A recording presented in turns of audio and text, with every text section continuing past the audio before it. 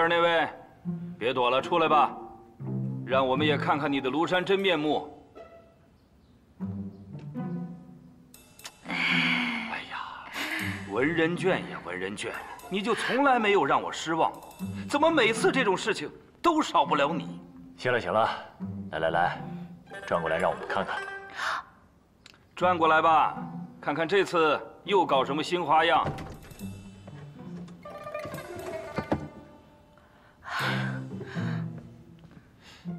这个是什么呀？博士，你们千万别生气，这就是我们瞎闹着玩的。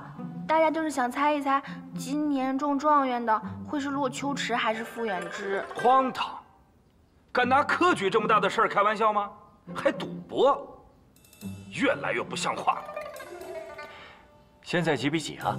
啊！哎哎哎，蓝山，你可别跟着他们瞎闹啊！呃，我跟你们说啊，把心思多用在功课上啊，少搞一些歪门邪道的事儿啊。算出来没？啊！哦，马上马上，算出来了。目前呢，投给洛秋池的有十六人，共五十六注。投给傅远之的呢，就稍微少了一点啦，只有十人。但这其中呢，有几注大的，所以是四十八注。目前看呢，两个人相差不远。等等，我押十注，我自己。这么多啊！罗秋池啊，对自己有信心是好事，但是也不用给自己这么大的压力。我觉得没有压力。我也再加十注。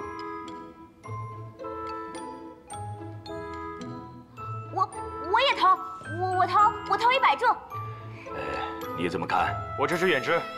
呃，我加二十注。我也支持师兄，我要给他加二十注。我加陆秋池，我加十注。我也加陆秋池，陆秋池，我加二十注。我也加陆秋池，我也加。我也加二十注。宣博士，您是不是也得下一注啊？对啊，宣博士。宣某囊中羞涩，比不了你们的，知乎的好，我就不加了。但是博士啊，你们心里多少也得有个衡量吧？这究竟是谁呀？哎，行了行了啊，不管是洛秋池还是傅远之，那都是你们当中的佼佼者。今年无论谁当了状元，博士们的心里啊都是很欣慰的。这个事儿啊，就不要再问了啊。好了好了好了，今天这个话题啊就说到这儿。大家准备一下，咱们上课啊！上课，准备上课了。哎，蓝山，怎么着？是打算留下来听我讲课呀？要不要我给你找个座啊？欧阳博士讲课，我不敢叨扰啊。那就别在这儿捣乱啊！快走吧。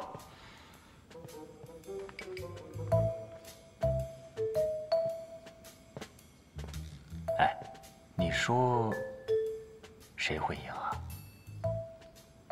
当然是洛秋池啊！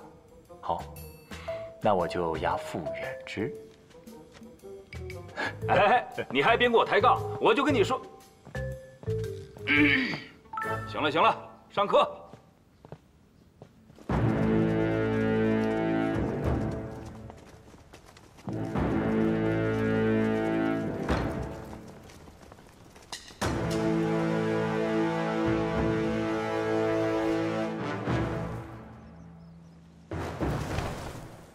敬的陛下，请接受来自五魁的敬意。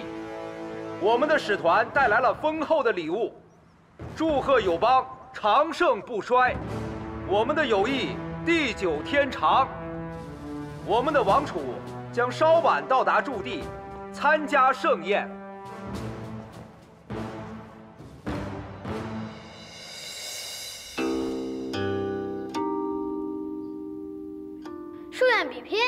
正是，听说友邦的竹秀书院聚集了友邦的顶尖学子，我王认为，既然友邦与我们互有来往，如若能让两国学子在盛宴上切磋技艺，相互学习，取长补短，就最好不过了。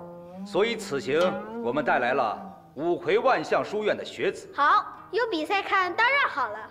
那你们都打算比什么呀？不会就只是吟诗作对吧？五魁学子一直以来接受的是友邦文化的熏陶，天文地理、琴棋书画、刀枪棍棒全都可以，全由陛下决定。好，那就武艺、诗词什么的，你们再选几项吧。陛下，三思啊！那就这么决定了，赶紧让书院的学生们准备起来，咱可不能输给他们。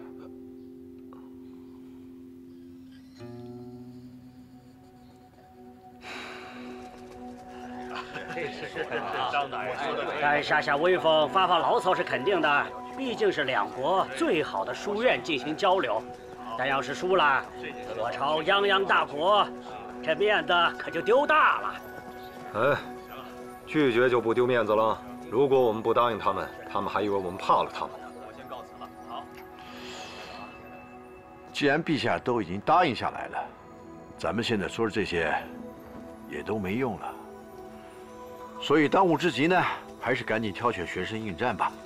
哎，这如此重任啊，这也不知道这些学生们，谁来担当啊？这是大好的机会。元直明白，我一定不会输的。不，你不明白。对于五魁，你代表的是朝廷，是书院；对于朝廷，你代表的是父父。更是你自己。听说那个洛秋池也会来参加。没错。比赛时，所有朝官都会亲临观赛。你不但要赢，而且还要适时的崭露头角，让他们明白，你很快。就能成为他们当中的一个，并且是最好的一个。现在文人书和玄音都对我青睐有加的消息已经放出去了，有不少官员私下找我结交。我正要与你说说此事，你应当尽快在文人书和玄音之间做出选择。文人晋与康亲王。将朝中势力分为两派，我会静观其变，然后做出最好的选择。你就没想过，他们二人身处高位，怎么会轻易被一个小孩子玩弄？你可不要聪明反被聪明误啊！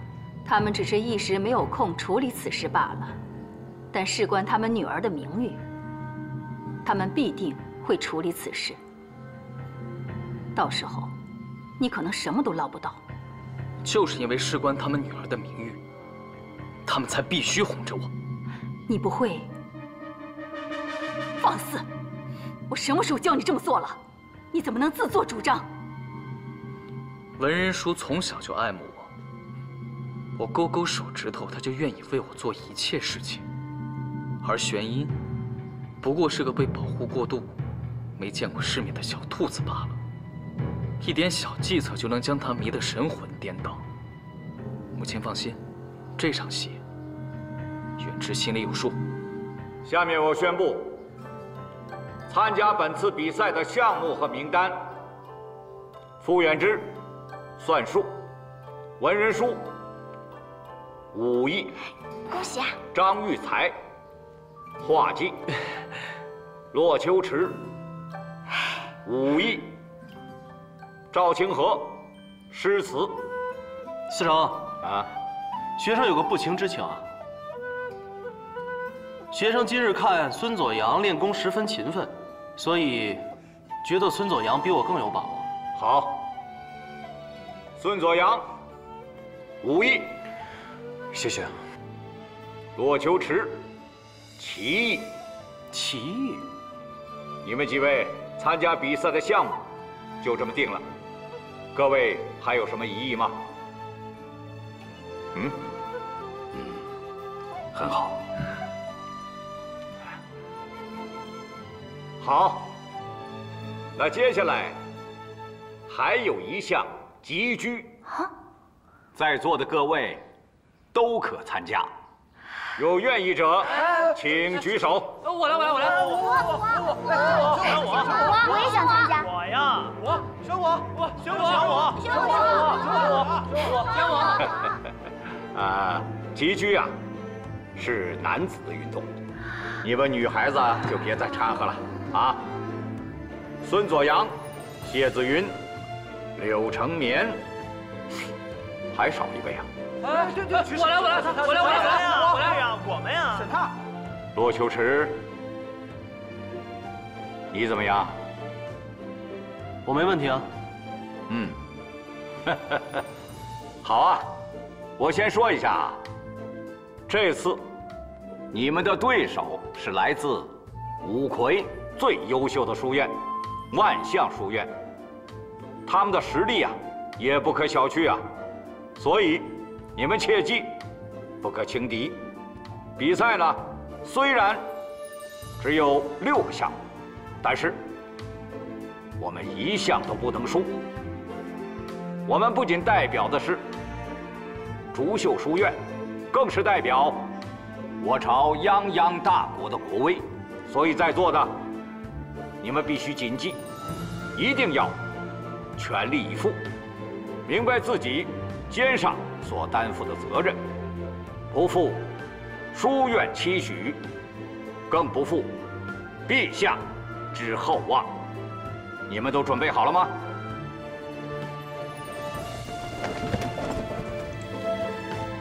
我等必将全力以赴。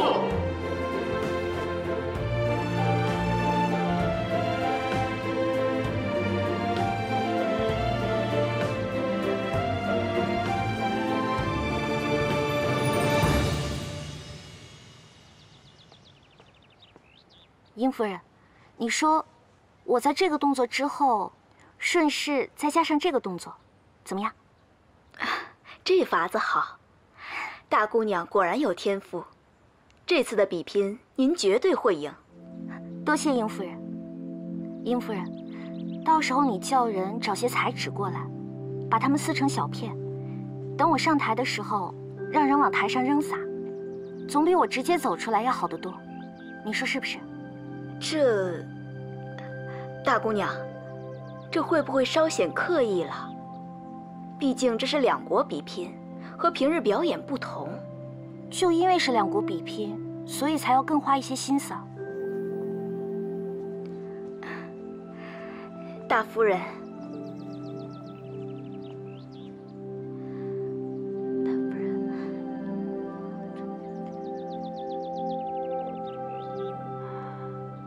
舒儿，英夫人说的没错，这次比拼乃是国之大事。不是突出你个人技巧，设计的过于隆重，并不讨巧。你听娘的话。我为何要听你的话？不要说的好像是为了我好一样。说到底，还不是为了自己的面子。我已经长大了，自己的事情，我自己决定。舒儿。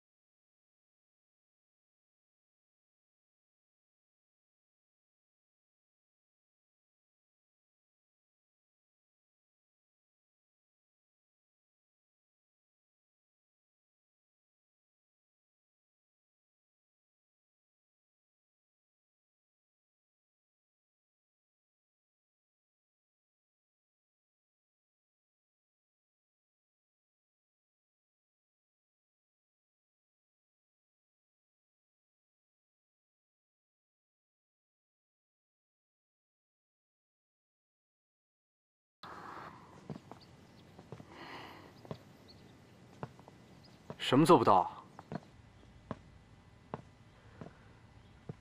怎么了？闷闷不乐的。马上就要跟五魁部比赛了，我怕我会输，所以想放弃了。我还以为是什么呢？这背诗不是你最擅长的吗？为什么要放弃？我不是怕背诗，我是怕到时候有那么多人看着，我会紧张的说不出话来。那也不能临阵退缩啊！你是将军夫人，要以身作则。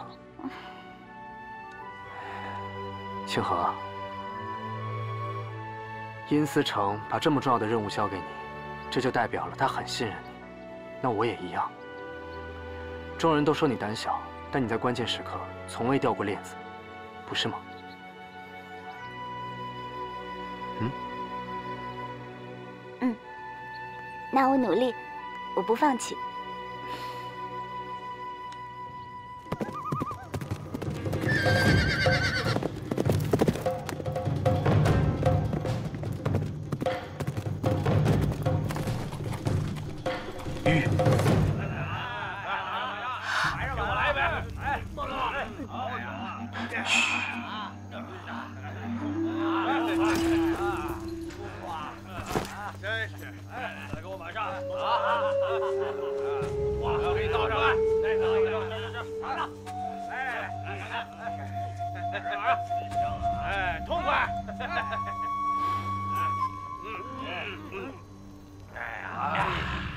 看来是一帮流窜的劫匪，不要惊动他们。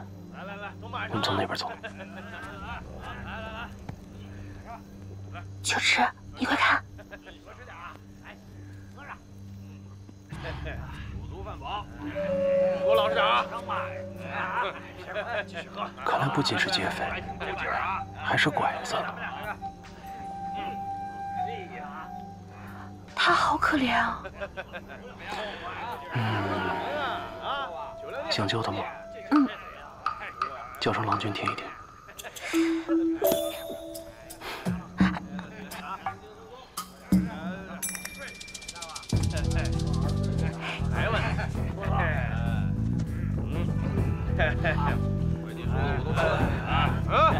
来者何人？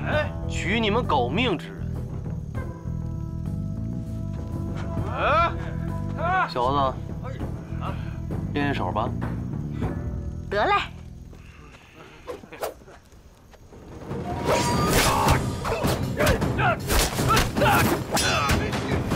哎，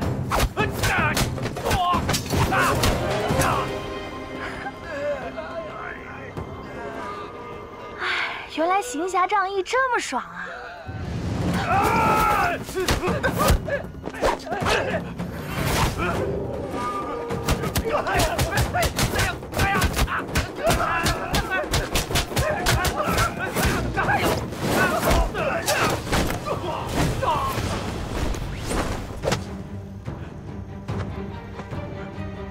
大将命！大将命！大将命！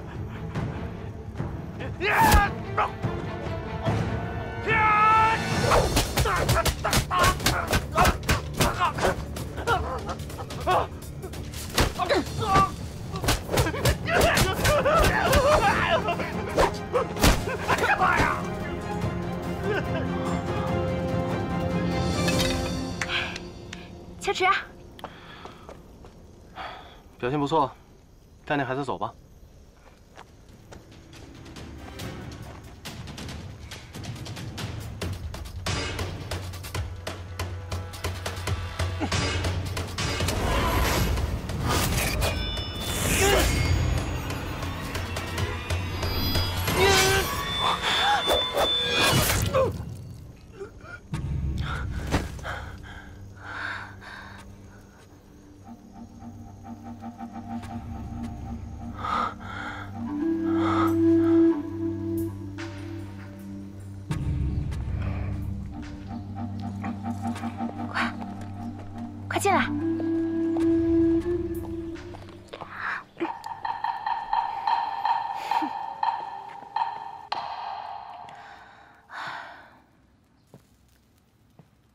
之前还没事，怎么现在昏迷这么久还不醒啊？嗯，你还挺关心他的啊？估计饿了吧？饿了，那我去给他找一点吃的。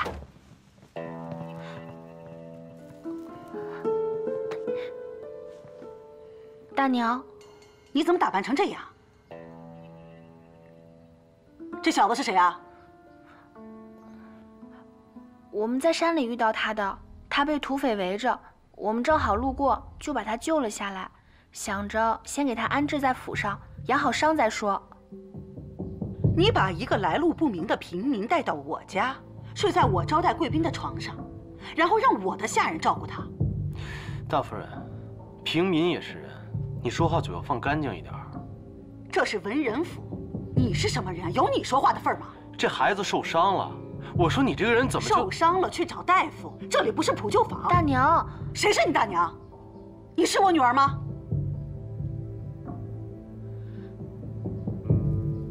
我是文人府的主母，一切我说了算。赶紧把这个小孩子给我弄出去。那我亲自照顾他，不让府上任何人碰到，不出门见任何人，这样总可以了吧？我在我自己的卧房招待我自己的客人，您不会连这都要管吧？好，马上。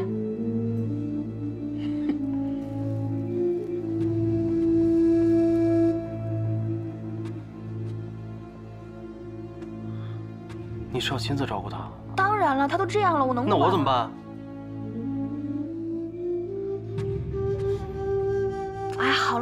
他抱去我卧房。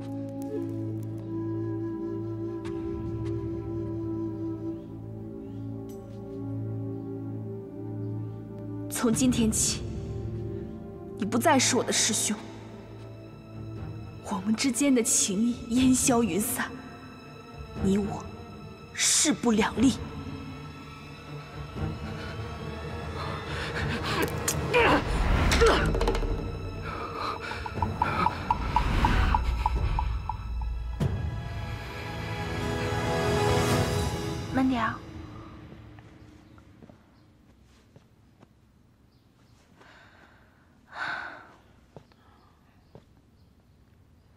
现在感觉怎么样？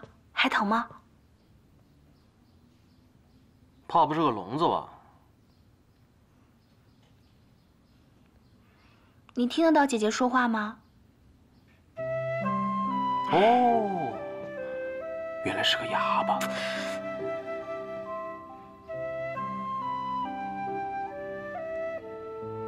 还行，没发烧就好。你对他也太好了吧？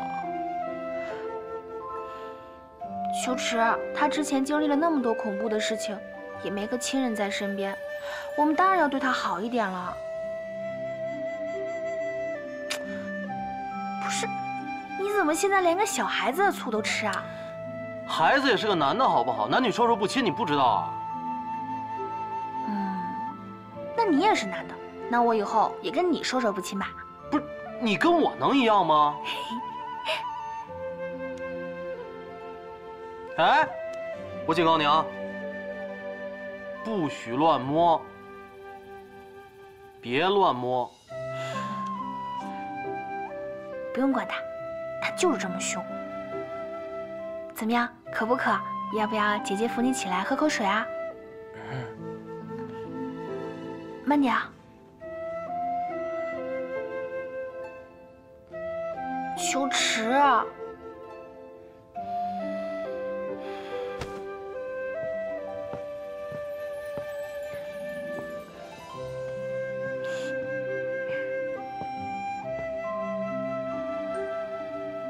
慢慢喝啊，别呛着了。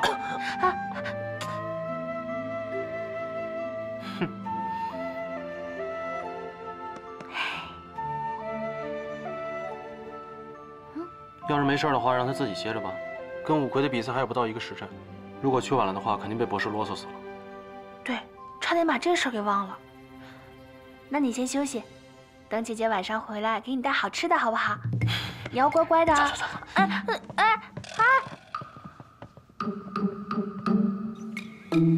哎呀，秋池，呀，我书袋忘拿了。我跟你去拿。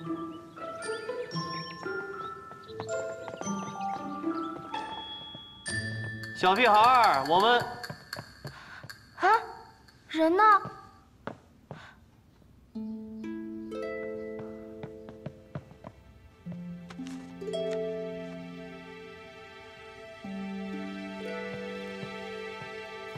秋池，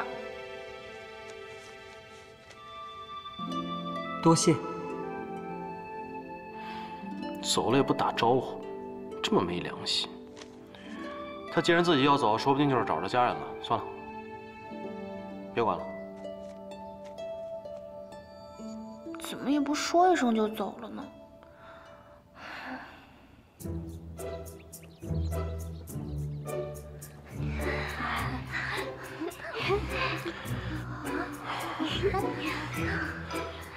秋池，等我一下。嗯，去吧。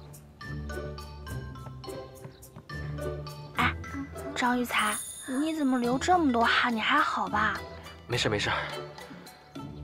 不用太紧张。张玉才，不是，就一个比赛，几个五魁部人，怕什么呀？你不害怕，你结巴什么结巴？嗯，球子，嗯嗯，还有心思关心别人？你是不是昨天晚上折腾一夜？你是不是累坏了呀？啊？嗯？啊，哎呀，秋池，你还说呢？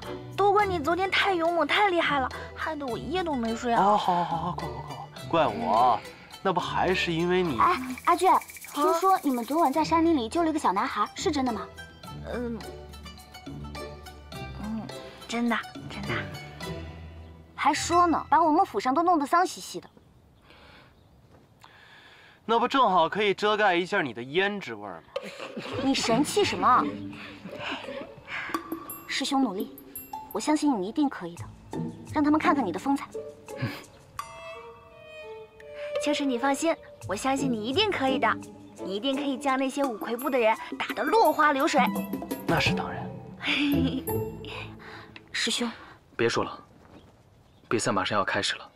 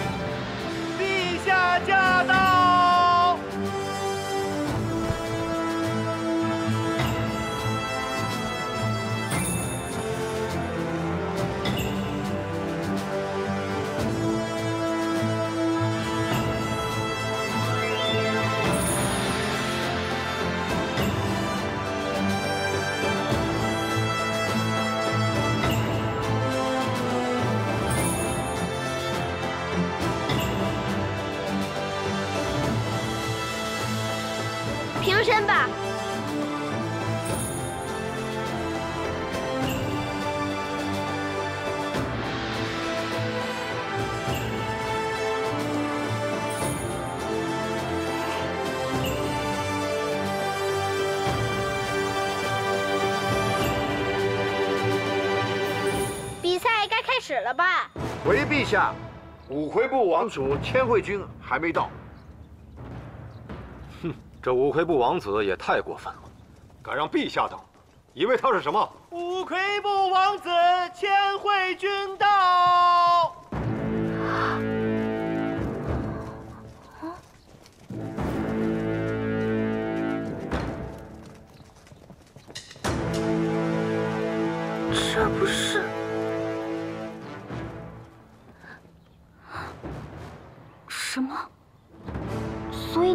是千惠君？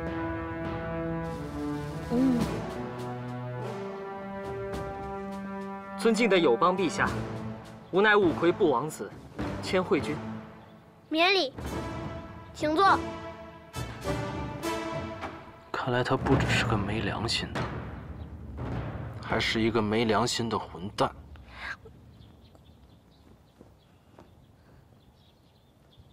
先比赛吧。千惠君，今日来迟，是为何事啊？多谢父公关心，我昨日遭遇了偷袭，幸得贵国两位侠士相助。谁呀？洛秋池，文人卷，怎么是你们呀？回陛下，我们只是恰巧路过，举手之劳而已。就是你们的举手之劳救了我一命，还请陛下准许我向两位恩人表示感谢。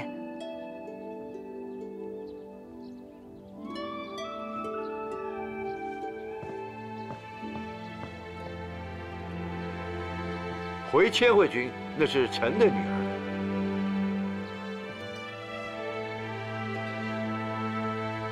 多谢千惠君。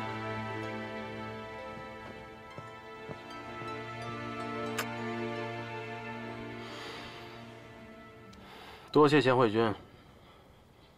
时候不早了，我朝与五魁部书院比拼即刻开始。第一项，算术，请我朝参赛学子傅远之与五魁参赛学子三树上场。师兄，你可以的。看你的了。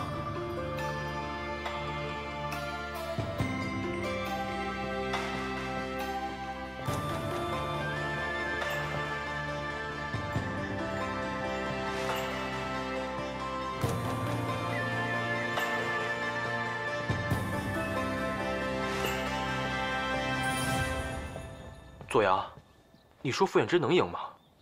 能赢。论算术，远之没输过别人，我相信他，一定可以赢。那还真说不准。对方不也是五魁算术最好的学生吗？那又如何？师兄算术超凡，仅凭心算就可以。我相信他一定会赢的。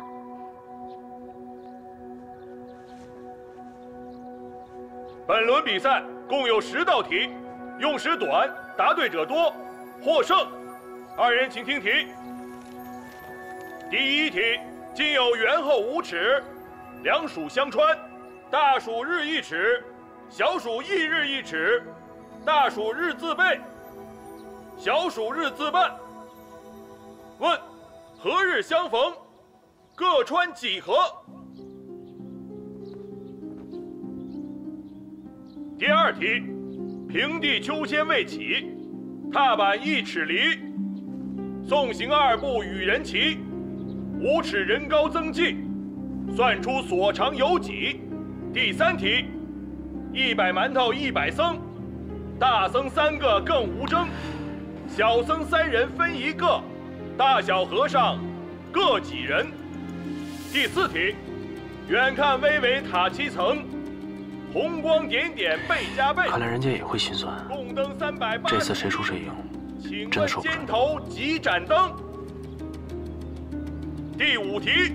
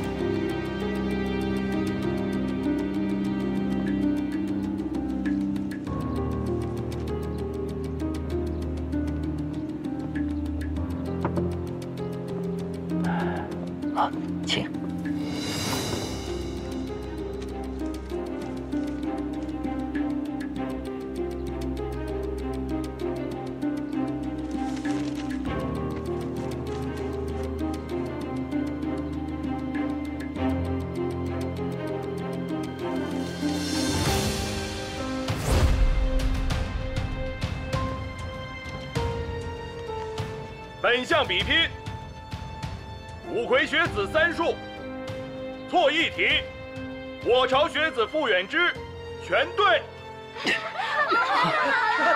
赢了，太好了！是啊，师兄，太棒了！本局结束，我朝胜。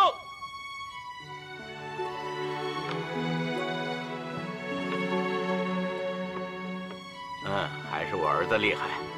哼，不就是你儿子吗？啊！真是啊，是不错。就输远之会赢。师兄，你太棒了。干得漂亮，远之。哎，但刚才说真的，这么多年，第一次看你在算术上慌了神。只能说五魁人真的有备而来，想必其他几个实力也不容小觑。嗯，是，不能掉以轻心啊。你们几个是啊，要小心了。放心吧，我一定让那个什么五魁使者知道，我朝的学生都不是吃素的。嗯嗯，对，一起努力。请我朝学子文人书五魁学子林球上台比赛。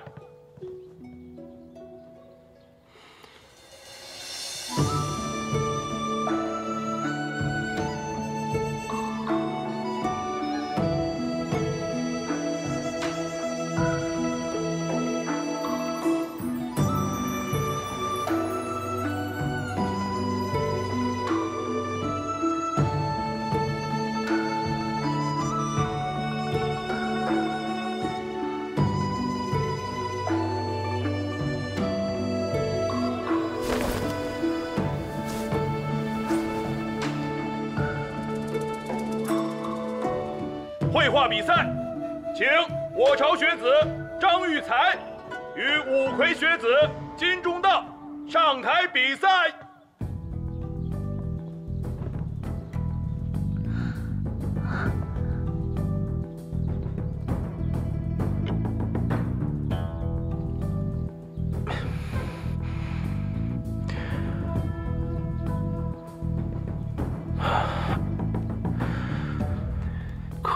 汗滴到画上啊！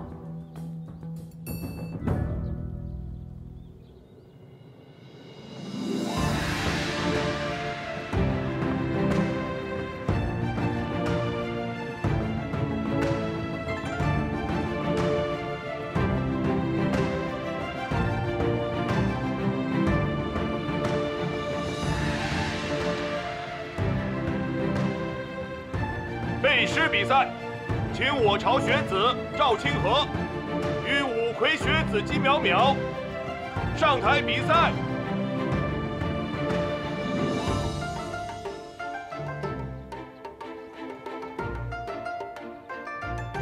杜子美的《行刺昭陵》，请两位答题。我我我知道。